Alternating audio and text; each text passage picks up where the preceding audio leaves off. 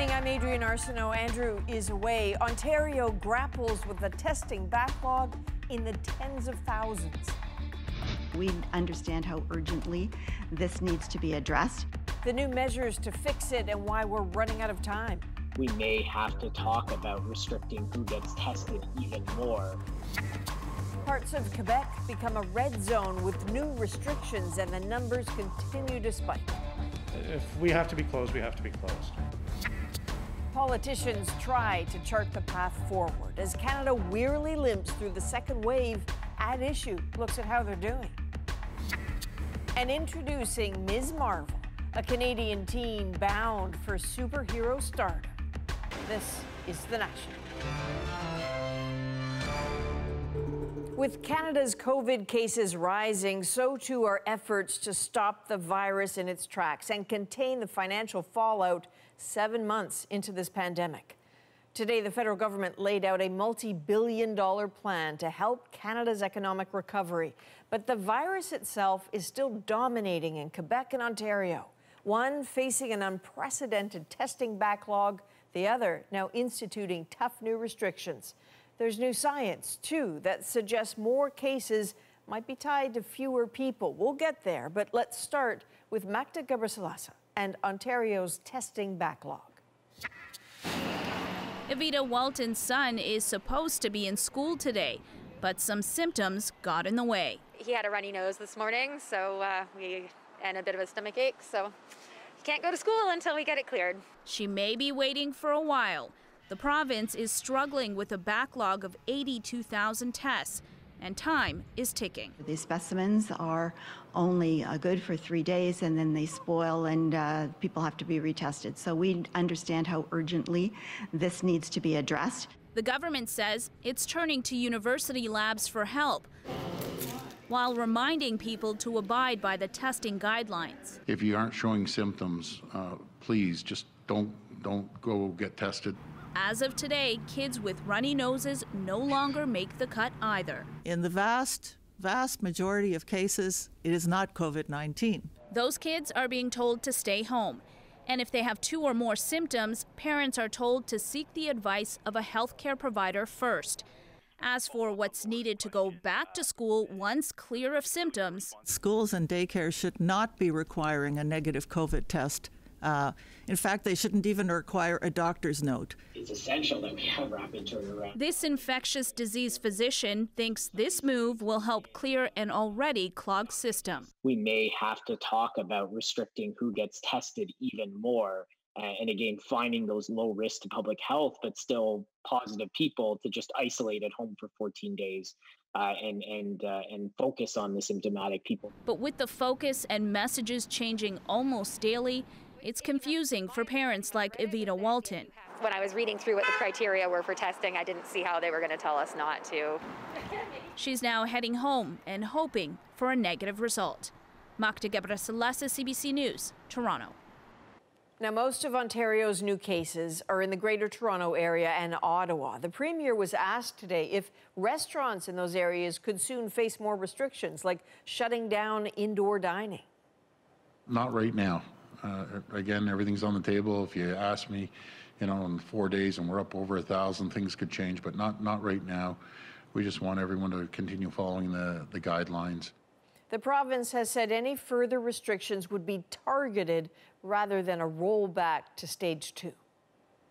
In Quebec today, a lot of targeted restrictions took effect. Red zone rules went into effect in three areas, including Montreal. Alison Northcott with the change and the confusion. For the bar, we've done the same thing. For the second time since the pandemic began, David Ferguson's restaurant is shut down. We're not an essential service. The schools are, the hospitals are. So if we have to be closed, we have to be closed.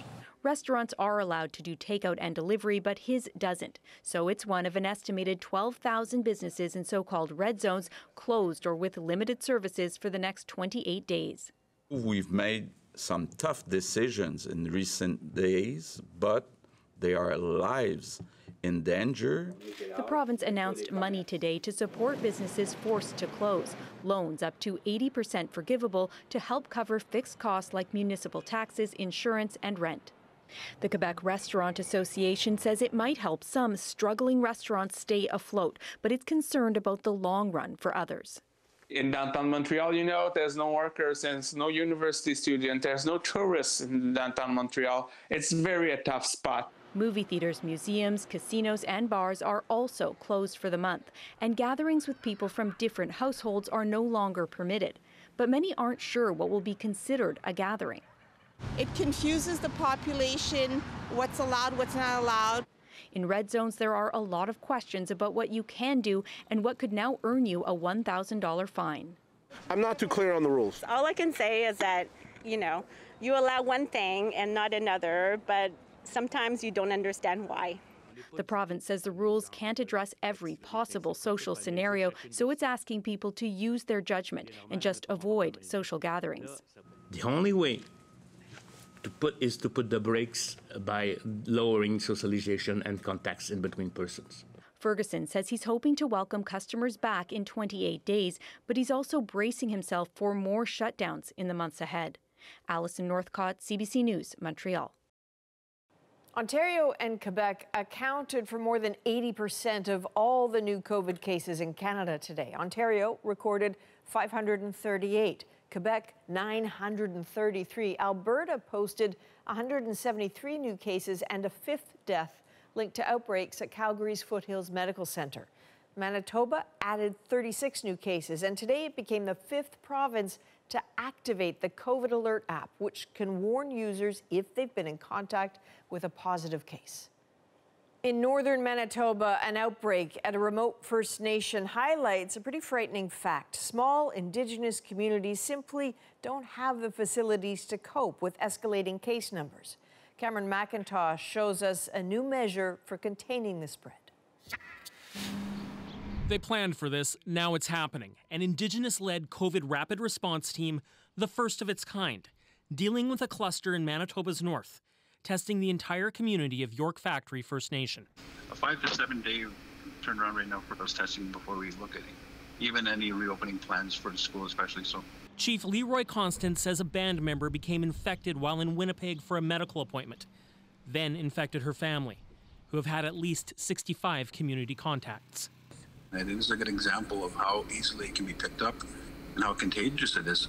Led by the University of Manitoba's Ongomiizwin Indigenous Health Institute, a doctor, three nurses, and two therapists are conducting testing while the community locks itself down. It's the first time that this uh, uh, intervention has been done. Drastic measures to prevent a much bigger spread, says Dr. Barry Lavallee. Where there's no place uh, to isolate safely uh, or comfortably. Throughout the pandemic, there have been 683 positive cases on First Nations with 12 deaths. 120 cases are currently active. Overall, the test positivity rate remains below the Canadian average. We'll continue monitoring the situation quite closely. Thank you. The Indigenous Services Minister says situations like in York Factory are worrisome as a second wave looms. 2.2 billion has been allotted to deal with COVID in First Nations, including initiatives like the Rapid Response Team. Meanwhile, other communities already closed off are shutting down further. Manitoba's Pimicikamak Cree Nation is restricting all travel. We are trying to manage uh, how people are coming in and going in our community. So right now we had the complete lockdown. People uh, have to abide by the rules that we're we're putting in place just to keep the community safe. Still, leaders concede that's coming at a great emotional cost. The pressure and isolation many First Nations are feeling is leading to a COVID induced mental health epidemic. Cameron McIntosh, CBC News, Winnipeg. Now, key to stopping the spread of this virus is understanding who's likely to spread it. Christine Birak shows us a new study which suggests some people spread more than others. Health officials are seeing an increasing number of outbreaks. In Kingston, Ontario, at least five recent COVID 19 positive cases have been linked to a large party. At a 50 person wedding in Oshawa, eight cases, and the couple has not handed over their guest list. You got to give up the names, you know, and, until we can we can contact trace them. Tracers need to figure out who's spreading this virus. Scientists insist it's fewer people than you think. Not everyone spreads the same amount. Indian scientists conducted the largest COVID 19 contact tracing study in the world. It suggests the epidemic is being driven by a small number of infected people. It is known from the scientific literature that not everyone sheds virus the same way or that they have equal levels of viral load. Scientists tracked 85,000 COVID cases in India and over half a million of their contacts. They found 71% of people hadn't clearly transmitted the virus to anyone. Instead, 5% of people accounted for 80% of the infections. Super spreading events happen, and that's a, a, a reasonable term to define what's happening. Super spreading events aren't well understood. They're tough to study, and the findings can stigmatize those who set them off. Experts say they can also be situational. You have, uh, for example, a wedding where there could be a lot of people in close contact with each other. Some of it might be individual factors, and for whatever reason, some people are just able to uh, shed more virus than others. Typically, super spreading events take place in crowded indoor settings where people are face to face for long periods of time. If we have certain groups uh, within the public uh, aren't following the guidelines, it, it, it's very difficult. Experts say outbreaks will continue to spike. The weather is changing, and people are moving indoors. Christine Birak, CBC News, Toronto. Meanwhile, a commercial rent relief program is officially over today. This was a lifeline for several small businesses across Canada, but it had its critics too. Jacqueline Hansen takes a closer look. Just hanging on the next few months will come at a cost for Karen McGilvray. I'm going to use my retirement savings to pay the rent because I want to keep the business going. I love the business. Up until now, she's only paid a small share of the rent for her climbing gym because her landlord applied for the federal rent relief. But that program is now over, and she still needs support. I really need help with the fixed costs, which the rent is the biggest fixed cost. The new finance minister says the government is committed to helping with those costs, saying, We are listening to you, and we will have more to announce very soon. But for now, more uncertainty. How long are small business owners going to wake up every day and wonder when they're going to hear about what supports are available to them. For months, the advocacy group Save Small Business criticized the rent program that some tenants were shut out of because landlords could choose whether or not to apply. After months of trying to get Ottawa to make fixes, the group called it quits. We wanted a broad, uh, simple uh, rent relief program, and we didn't get that. We got a complicated and narrow one. We're called Save Small Business, and we didn't. Uh, so we failed. They have a final urgent request for Ottawa. Don't replace the program with business loans. It has to be cash. It can't be more debt. Small businesses simply cannot take on more debt. Ottawa says 120,000 businesses benefited from the rent relief program for a total of about $1.7 billion, roughly half of what was budgeted. The landlord of Phil Chaw's escape room and cafe refused to apply.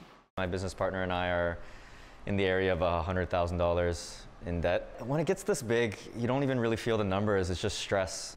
Chaw wants the government to give him a chance to apply for the leftover money directly.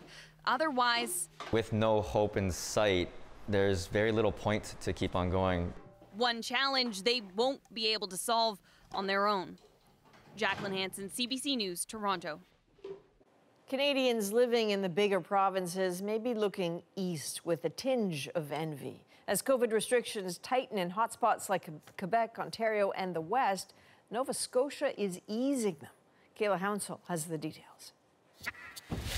He has to get dressed before he goes into the arena, but Jack Graham doesn't mind.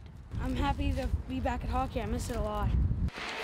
These tryouts not possible until today when the province increased the gathering limit from 10 to 50 with no physical distancing required. They are going to be able to go out, check, have face off, have referees, have music playing, be like a rink. So I think it's fantastic.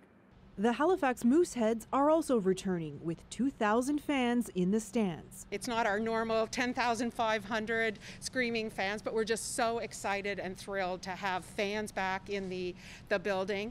With only two cases of COVID in the province, some are calling for even more restrictions to be loosened we need to relax a little bit to allow businesses to operate effectively uh, in what has become a special place in North America. The Halifax Chamber of Commerce wants to increase the two person limit in elevators so more people who work in office towers can return. With patios closing, it also wants to allow more people inside restaurants and ease restrictions at the provincial border so people coming in don't have to isolate so long. Let's do some testing. Let's allow people to get a test even in Ontario or in Quebec, and let's let them have a second test when they arrive in Nova Scotia. This infectious diseases specialist supports some changes, but urges vigilance. I mean, while the success of the bubble in, in the Atlantic provinces is just it's it's outstanding, um, it's outstanding for a reason. You know, I think if people get too cavalier or if policy gets too lax, it's it's conceivable that the bubble could burst. These kids are hoping nothing happens to burst their bubble of excitement. I'm really happy we get to live in Nova Scotia where we're uh, doing it. I quote my mother here uh, hockey is a privilege, not a right. A privilege they hope to keep enjoying for the rest of the season. Kayla Hounsell, CBC News, Dartmouth. So let's go now to Vancouver, where Dan Burritt is standing by in our newsroom for some developing news. Dan, what's happening? Adrienne, U.S. President Donald Trump has tested positive for COVID 19. Earlier tonight, Trump announced that he and First Lady Melania Trump were awaiting the results of a test he took recently and would begin what he called a quarantine process. Moments ago, though, the president tweeted that the results are in fact positive. Trump saying tonight him and First Lady Melania have tested positive for the virus. They will begin their quarantine and recovery process immediately, saying, We will get through this together. This comes after one of his most senior aides, Hope Hicks, te also tested positive for COVID 19. Hicks spends a lot of time with the president and traveled with him to Tuesday's debate in Cleveland.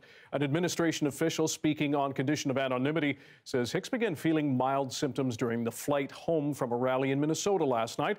Trump was also on Fox News with an impromptu interview earlier tonight, and he was asked about the diagnosis. And I just went out with a test. I'll see what, you know, because we spent a lot of time, and the First Lady just went out with a test also. So whether we quarantine or whether we have it, I, I don't know. You know, it's very hard when you're with soldiers, when you're with uh, airmen, you're with uh, the Marines, and uh, I'm with and the police officers. I'm with them so much, and when they come over to you, it's very hard to say, "Stay back, stay back." We'll bring you any updates on the president's situation tonight. His doctor says both he and the first lady are doing well. Again, Donald Trump has COVID 19. Adrienne, back to you. At least one person is dead after the accidental opening of a dam in North Vancouver today. Social media video shows that powerful wall of water rushing out of the Cleveland Dam this afternoon. Officials say several people were caught downriver. Two were able to make it to shore on their own, and two others are in stable condition after being rescued from a sandbar. City officials say it was an unexpected gate release during maintenance. There's more fallout today at the Quebec hospital where an Indigenous woman was verbally abused by staff shortly before she died. An orderly is the second person to be fired after a nurse was let go. And we're learning the experience of Joyce Echaquan is similar to what a man told the Quebec government more than a year ago about that very same hospital. Sarah Levitt explains. Alain Flamand says nurses at Joliette Hospital kept saying he was there just for the drugs. Just because I'm indigenous doesn't mean I'm on drugs, he says. Flamand says the death of Joyce Echaquan left him in shock. The Atikamekw woman died Monday, but not before filming the insults she faced. Family says Echaquan dealt with racism at the hospital often, something Flamand can relate to. He spoke about it before the Viens Commission in 2018. The inquiry looked into the treatment of Indigenous people in the province's public service. In 2017, Flamand went to the hospital five times over six months with severe back pain. Instead of getting checked, he was given pain medication and told to rest. Finally, fed up, he made the trek to Trois-Rivières, where he was admitted for emergency surgery. Many in Manawan avoid getting medical help at all. It's really serious. They just don't go. Many of them don't go, and they are more sick. They, they die younger. As the MNA for Joliette, Véronique Hivon says Echaquan's story is tragic. I'm sorry. I think it's a little difficult. Uh, I was uh, totally shaken. Hivon says the Viens Commission was already full of examples of failures in the health system. Cultural barriers, inequalities in access to service, and a complaint process rife with prejudice. Premier Francois Legault says he's been in touch with Echaquan's partner. He says the government takes the recommendations from the commission seriously but was sidelined by the pandemic. Flamand says he doesn't expect to see change. I could have easily been in Joyce's place, he says, me and many others. Sarah Levitt, CBC News, Montreal. A Calgary high school is under fire for suspending students who went public about their principal using the N word. The students, who in this case were doing the right thing. The reaction next. And fighting for change in Canada's universities. I had been at a blackface party while I was at a bar. I was told several times to go back to my country. How thousands of students and faculty are working to end racism. Plus, Marvel's newest superhero is yet another Canadian. We're back in two.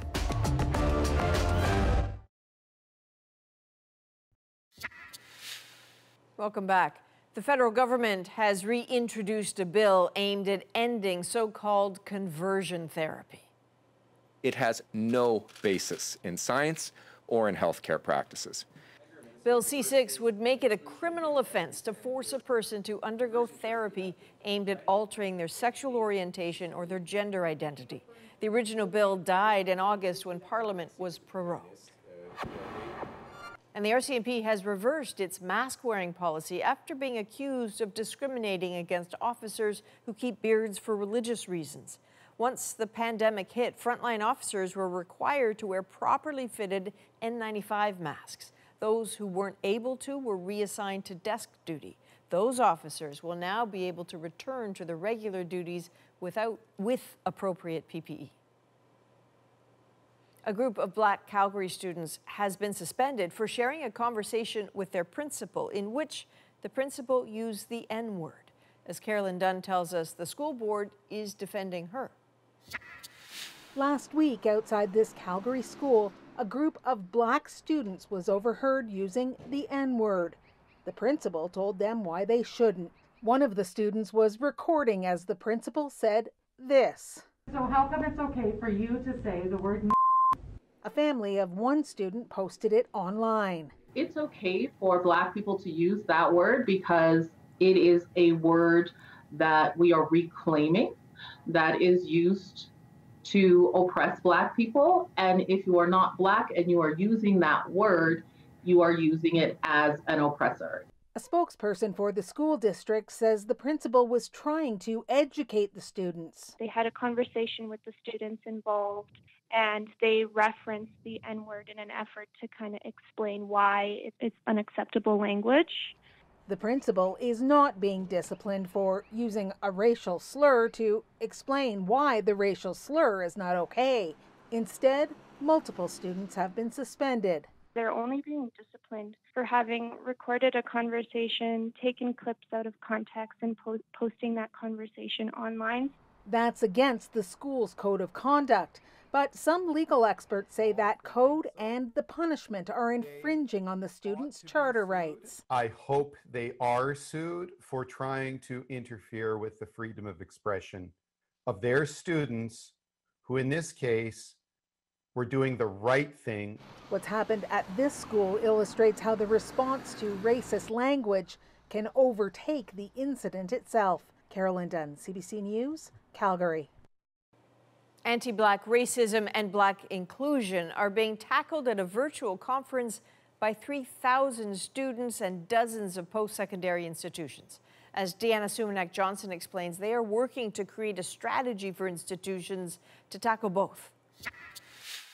Binta Sise says she never thought of her skin color while in her native Gambia, but she was made aware of it when she enrolled at the University of British Columbia.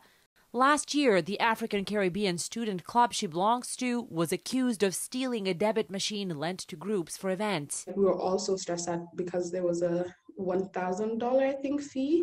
And yeah, it turned out that she gave it to someone else. Experiences like hers aren't rare in Canadian universities. Being a Black student comes along with a lot of challenges and barriers. Which is why today and tomorrow, 54 of Canada's post secondary institutions are engaging in what they're calling National Dialogue on Anti Black Racism. 3,000 participants, faculty, students, and administrators will engage in virtual sessions meant to bring difficult issues into the open. How do we make sure that we create pathways for people to come into the institutions, but that when they're there, they're supported to thrive, that they're uh, enabled to be the best of themselves? The goal of the gathering is to produce a charter of policies and best practices that all participating institutions will sign. I was told several times to go back to my country. This author of an autobiographical book on race on campus says the initiative is a good start. There's been a lot of saving face. Schools have been doing town halls and putting reports together for a long time. So I'm hoping that this time it actually sticks, that there's some regulations around it. Binta Sise, for one, is hopeful imagine going through university and your experiences are not good at all. It's also going to affect your frame of reference when you go out into the world. A step towards fixing up the institutions that pride themselves on openness and nurturing of young minds, all young minds who enter them. Deana Sumanac-Johnson, CBC News, Toronto. Still ahead on the National, how Chrissy Teigen and John Legend's heartbreaking story of loss has resonated with parents around the world. But first, politics and the pandemic and trying to break the second wave. At issue is here. Rosie? Adrienne, we're going to look at how governments are managing this moment of the pandemic, from the political challenges to the opportunities. Are decisions more difficult for governments this time around? Chantal, Andrew, and Althea will answer that and more, and we'll see you right after the break.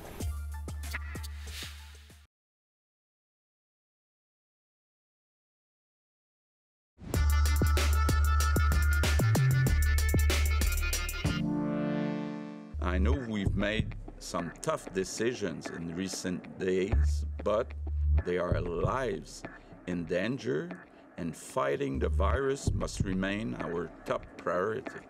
Yesterday's modeling data was a wake up call. We could have a thousand cases a day by mid month. So, again, I have to keep saying, please don't let your guard down. Cases of COVID 19 continue to rise in several parts of the country, and so too do the political challenges. How are governments managing this second wave of the pandemic, and at what cost? It's Thursday, and I'm here with At Issue Chantal Hébert, Andrew Coyne, and Althea Raj. Good to see everybody.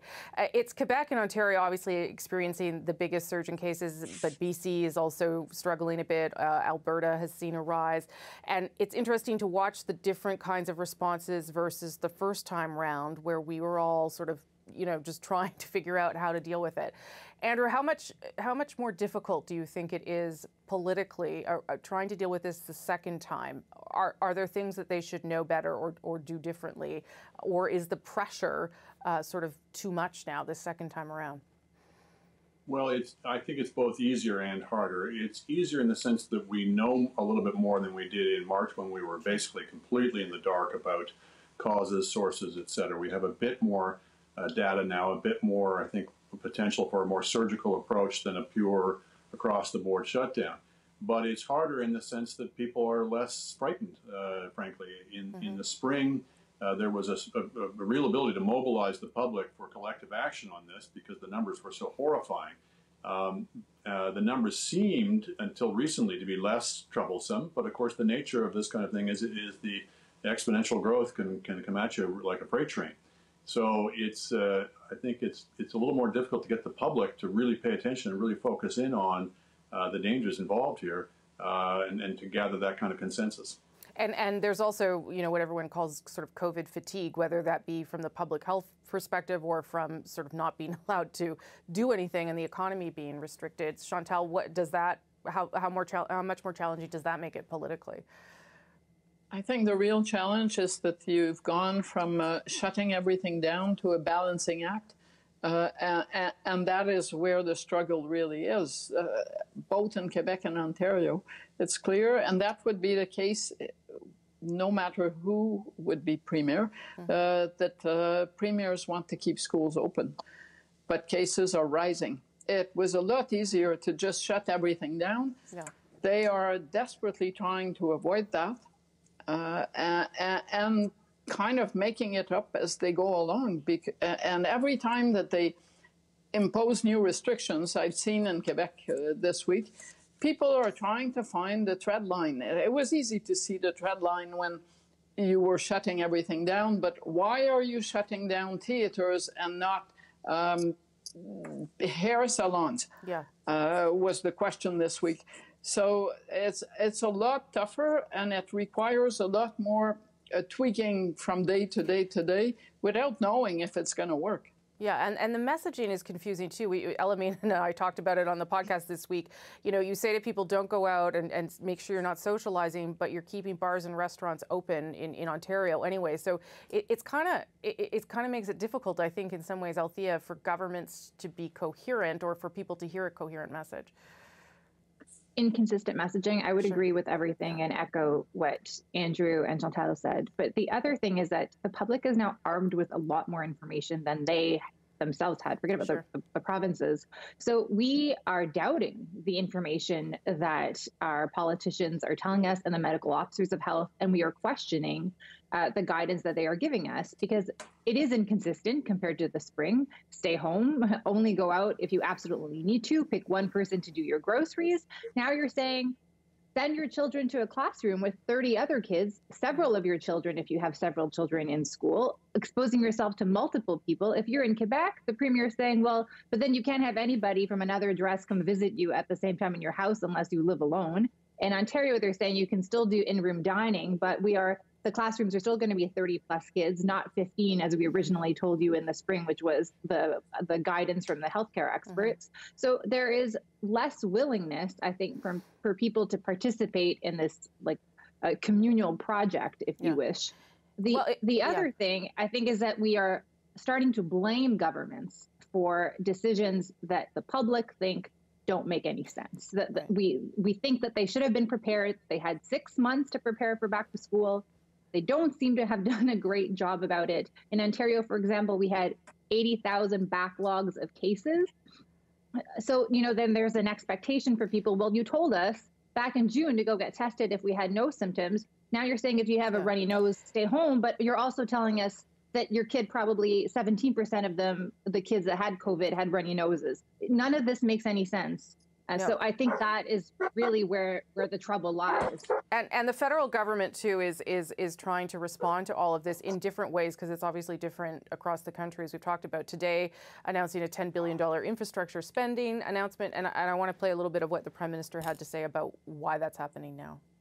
We are, of course, uh, primarily concerned with uh, the situation uh, facing so many communities around the country with the second wave of COVID 19. At the same time, though, as people are struggling through this pandemic, people are also uh, thinking about what's next. What lessons have we learned from this pandemic? How we're going to build back better. I mean, that's a that's a, Chantal mentioned a balancing act. I mean, that that's a balancing act too, trying to see the opportunity as we're still facing the challenges. Andrew. Uh, opportunity, political and otherwise. Uh, I mean, I still think this is vulnerable to the critique that uh, he should be focusing on the specific task of fighting the pandemic. If there's a more core uh, uh, role for the state than public health, I don't know what it is. And yet, we've just been talking about the many ways in which governments have not been uh, addressing that, have not have, have been dropping the ball on that core responsibility.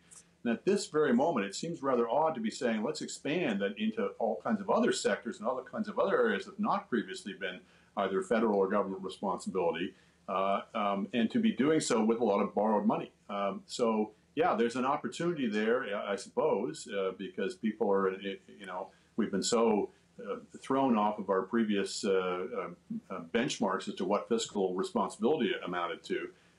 but I think there's also dangers there. Yeah, I mean uh, that that announcement today also promised to create 60,000 jobs, which I you know is part of their 1 million dollar 1 million job promise. And I guess part of that Chantal is about sort of lining things up when or if things ever get back to normal too. Well, two things. Uh, for one, I think at this point it's harder to be a premier in Ontario, Quebec, or BC and Alberta than it is to be the prime minister. And that goes back to the fact that provinces are sovereign when it comes to health care uh, and when it comes to education. So they will be in the line of fire. When Paul Martin cut uh, the rate of increase of the health transfer, he got rewarded for uh, keeping public finances in good order federally, and the provinces paid a high price for the healthcare system cuts. So, uh, up to a point, Justin Trudeau is not in a bad place. The other thing is, I suspect the initial reaction to the throne speech is probably uh, made the federal liberals feel freer about doing what they wanted to do, and that is that the reception when you look at you know two polls this week, it either strengthened or improved the liberal standing in the polls. So it seems that throne speech, uh, despite the fact that it was panned by so many experts, did hit the mark. And then it's hard to argue that the federal government is doing uh, nothing that uh, is worth talking about when you have an anonym, uh, unanimous vote in the House of Commons yes. for the latest uh, relief package. Yeah, which was which was interesting because it was far more targeted than the initial aid package. That is something, I guess, that a lesson that government has already learned. Althia, your thoughts on on how that balancing act that the Prime Minister sort of articulated today. Well, the infrastructure announcement is actually not really new. This $10 billion is part of their $180 billion infrastructure plan. It's all directed at things that they've outlined uh, previously you know, green buses, climate adaptation, uh, broadband internet. These are things that we've talked about during the pandemic, but these are things that liberals had already committed to. And in some ways, you know, in the spring, we criticized them for shutting down parliament and basically being only focused on the COVID response. Everything else was on the back burner. They weren't moving on anything. So I'm not ready to criticize them at this point and say, well, hey, you're trying to show that you can walk and chew gum at the same time. I mean, I reserve judgment because the infrastructure bank has not been a resounding success. No. It has actually really not done much. Um, I think that part of what's happening in the prime minister's office and in the government writ large is that people are getting so used to this astronomical amounts of money 10 billion here 10 billion there that they're just like oh we're just going to keep piling and nobody will, will notice whether we're 340 billion dollar in deficit or 396 billion dollar in deficit. Um, I, I, think that that is kind of what is happening and, and we're going to see more and more um, legislation and actions uh, that have basically been on hold since the spring yeah. come forward in this next session. Like yeah. just before the throne speech, I was told there were cabinet ministers had 40 pieces of legislation that they wanted introduced this fall. Yeah. Okay, I, I got to leave it there. Thank you all very much. Appreciate it. Before we go, be sure to subscribe to At Issue, the podcast, for extra content, including the panel's take on this story. Will the Prime Minister admit his failure to approve rapid diagnostic testing is leading to the burnout in our frontline healthcare workers. You can find it on any major podcast app and, of course, our website, cbcnews.ca slash the national. For now, though, back to my friend Adrienne in Toronto. All right, thanks, Rosie. Serious allegations of abuse have shuttered an elite training center for Canadian athletes. I can't sleep at night being, being the person who knows what's happening. The allegations and the investigation next.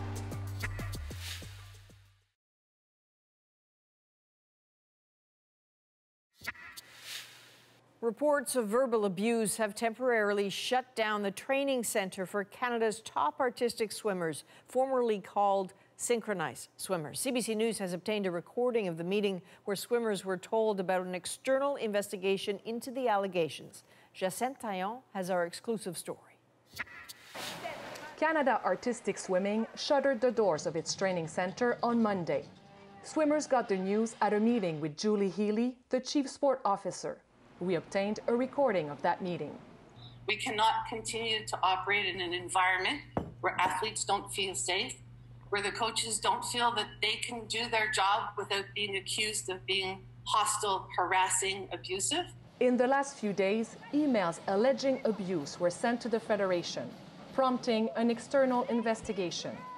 Information that came in over the weekend via email was that um, we our our training environment was unsafe that the the athletes uh, were being forced to keep quiet about it and about harassment and abuse. So when you talk about um, allegations against who? The organization canada artistic swimming the program our coaching staff me. Swimmer claudia holzner is shocked. I want to move forward. I want to make it to the Olympic Games. Obviously, you go through a lot of emotions when something like this happens. The investigation was sparked by an incident last Thursday at Montreal's Olympic Park pool. Some swimmers complained of comments about black people, Muslims, and the LGBTQ community, allegedly made by the team's head coach, Gabor Szauder. Remarks that were so offensive to them, they complained to Healy that they no longer felt safe. CEO Jackie Buckingham says it's the first time she's heard about incidents of harassment and abuse at Canada Artistic Swimming. Club coaches say it's been going on for almost two years. Our people are not being investigated, our issues are being investigated. I can't sleep at night being, being the person who knows what's happening and isn't doing anything. The external investigation will hear from club coaches but it's the testimony of the swimmers themselves that will guide future steps, says the CEO. Jacinthe Taillon, CBC News, Montreal. When we come back, how a celebrity's story of loss has resonated with women around the world. We are alone when we're in those moments and you don't know who to turn to. You don't realize that one in four women has experienced loss. We'll be right back.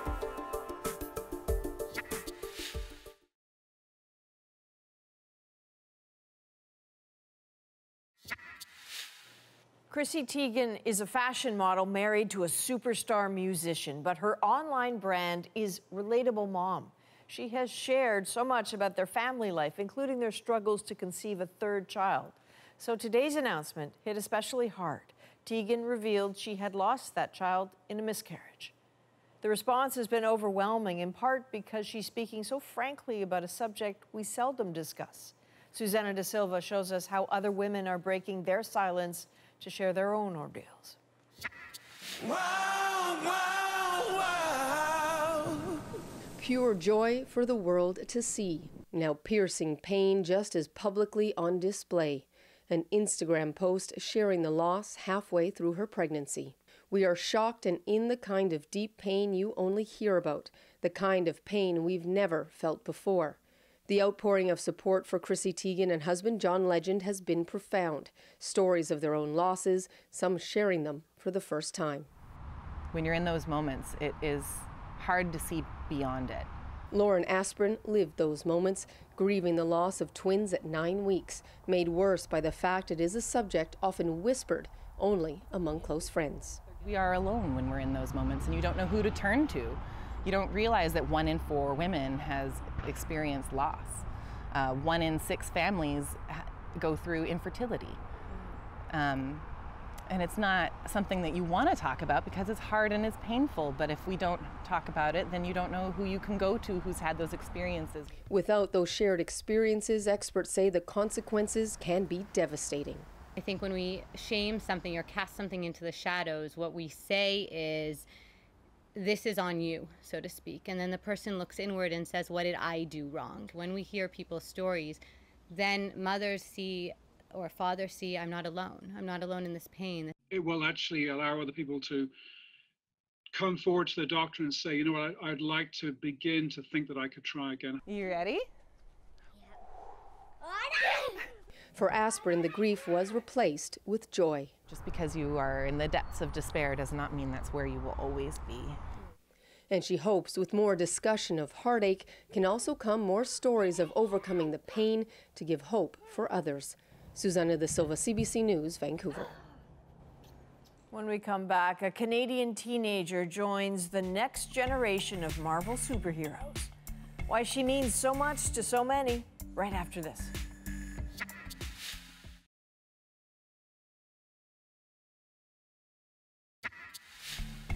At a time when the world needs all kinds of heroes, an 18 year old actor from Markham, Ontario is set to become an inspiration to so many people.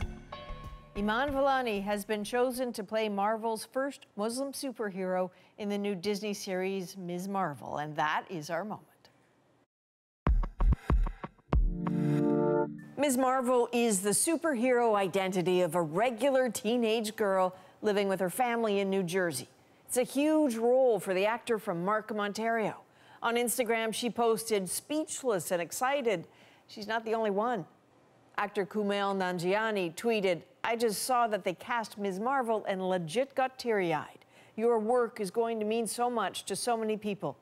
And actor producer Mindy Kaling said, What a joy in these trying times to see that Ms. Marvel, a Pakistani American teen superhero, has cast its lead role, a young actress named Iman Vellani. Now, neither mentions that Vellani is Canadian, but we know, and she is just the latest Canadian to fill Marvel's film and TV ranks. Tatiana Maslany is set to star in a She Hulk series, and Simu Liu from Kim's Convenience is playing Shang-Chi in a blockbuster movie out next summer. So, Marvel needs superheroes and needs superheroes to represent. Canada's got this. So, what's the story of this superhero? Well, she's just a young girl trying to protect her block and her corner store while balancing her, her faith, high school, and her newfound powers, and she'll be awesome. That is a national for Thursday, October the 5th. October the 1st? Second? I have no idea. Good night.